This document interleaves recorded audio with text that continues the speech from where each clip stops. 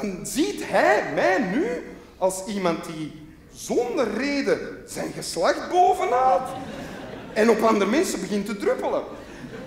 Sorry, zwaar overdreven dit. Geef het toe. De mannen geen slecht gevoel geven. En het zou wel plezant zijn. En dat je dit er zo kon afpakken af en toe. Even proper maken. ik. Voilà. En terugzetten. Oh. Daar moet jij staan. Eh, of dat, oh nee, stel je voor dat eh, juist nadat je die hebt proper gemaakt, vraagt er iemand iets. Wat? En vergeet die terug te zetten. Je gaat zo dan terug het café binnen naar uw vrienden. eh, Weet je wat dat ik vind eigenlijk? Ik, oh nee, oh, nee. alles wat je dan zegt klinkt lullig. Eh, of dat ze die afpakken. Stel u voor. Dat ze die gewoon afpakken en dat je op afstand een erectie krijgt. Hier een opwindend beeld en daar... Nee, dat kan allemaal niet. Kom aan. Dat kan, nee, bloedtoevoer.